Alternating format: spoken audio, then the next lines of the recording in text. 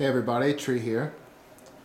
Just going to um, show you guys a little bit of the surveillance setup we're setting up at the streamer house. We got the first order in. We're going with Axis cameras all around, high definition, IP cameras. We have these babies for outdoor, two of them. And those are weatherproof and everything.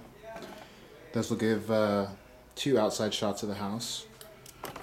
And we have these nice high definition zoom capable cameras. We have a couple of these pan tilt zoom cameras. And these ones users will actually be able to move around themselves and take in different views of the house. And then 10 of these little Axis IP cameras.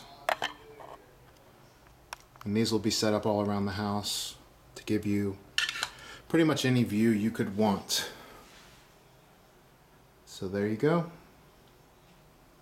That's the first step. And we'll have a lot more for you soon.